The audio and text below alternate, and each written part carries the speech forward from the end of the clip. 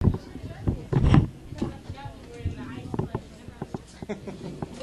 you.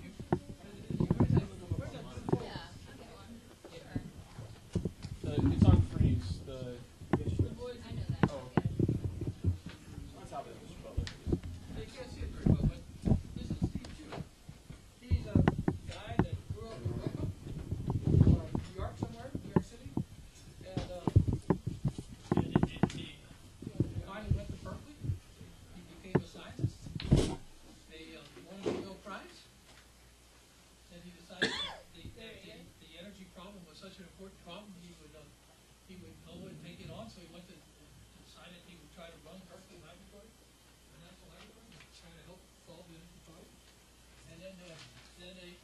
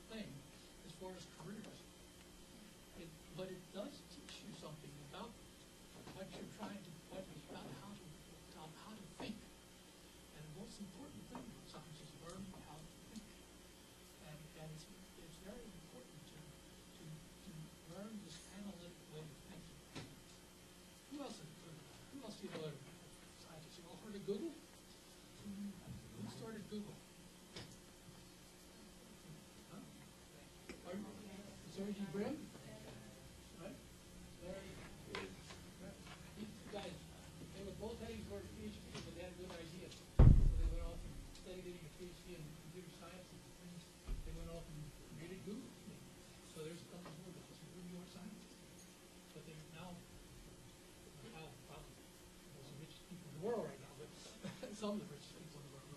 So science all kinds of careers. There's a guy named Simon who actually did uh, a, mathematician, PhD in mathematics. He's now head of the largest hedge fund in the world and made over a billion dollars in 2008.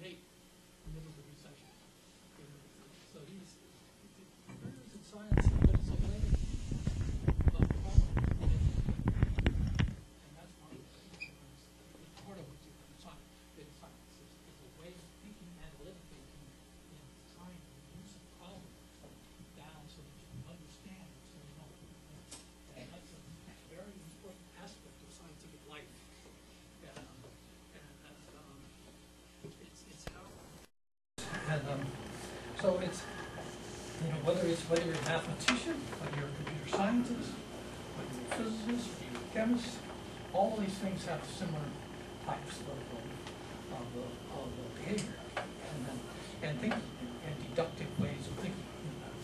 And in addition, if you really like to see science, then the important thing about it is, is, is, is that it's exciting field. Um, uh, have you had any astronomy in here?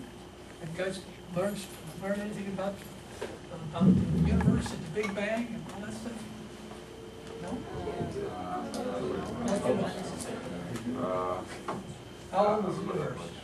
It's really, really old. Really, really old, yeah. Uh, like hundreds and hundreds of billions of years. Uh, I don't think thirty, three, That's a couple billion. three point, three, three point something billion years old. Three point three five. Three point three five, there you go, wow. All right. So, so- so how do we know this? Science. Huh? We've gone to. Really smart.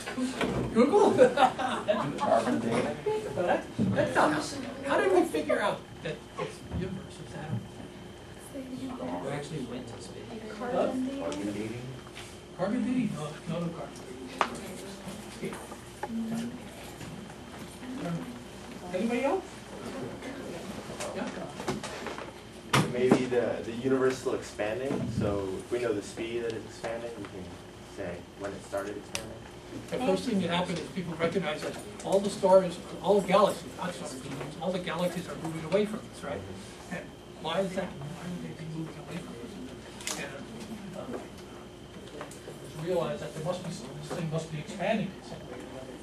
And, um, and then there- there's another thing, there's a second piece of evidence, which is, which has been mined over the years, and that is this big bang occurred, and everything exploded out, and and when it first happened, it was, there was nothing but, but uh, particles called quarks, gluons. They finally condensed down into protons and neutrons.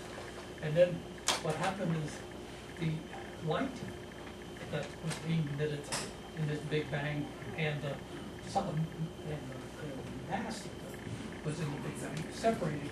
And we left, we left with a background radiation of light, left in the big bang. And we can see it, we go out and measure it. And, and we know, we know everything about it. And- It is very, very convincing evidence that, the universe is some uh, billions of years old. The, the sun, our solar system is, is, uh, is about, is about roughly that old too. And that is a very interesting issue, but we don't really understand everything about this whole field. We don't understand, uh, the, the fact that it's expanding too fast. Is it really? Pardon? Yeah, that's a question. Huh. Oh, I was gonna ask if it was true that the universe was contracting. I've heard, I've heard that after the Big Bang that it's been expanding and then it's done expanding and now it's getting closer. Well, this is, this is an interesting question.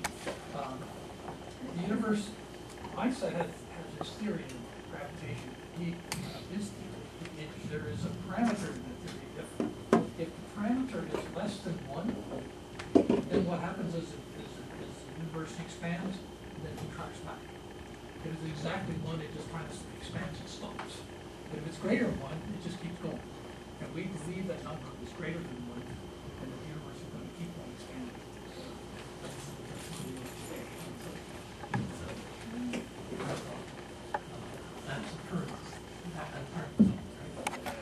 But why is it expanding too fast? That's the thing we don't understand.